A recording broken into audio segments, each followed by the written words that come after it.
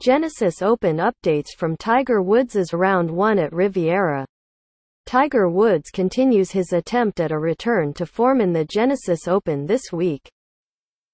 His second PGA Tour event in as many months after competing in the Farmers Insurance Open in January. Woods completed his first full tournament since the 2015 Wyndham Championship grinding out four rounds of par or better over the tournament to finish three under.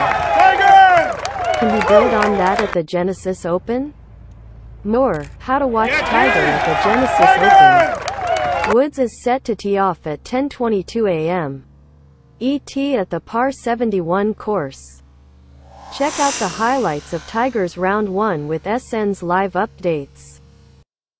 Genesis Open Round 1 Leaderboard Follow here for Sporting News live leaderboard of round 1 of the Genesis Open. Tiger Woods updates, more from Genesis Open.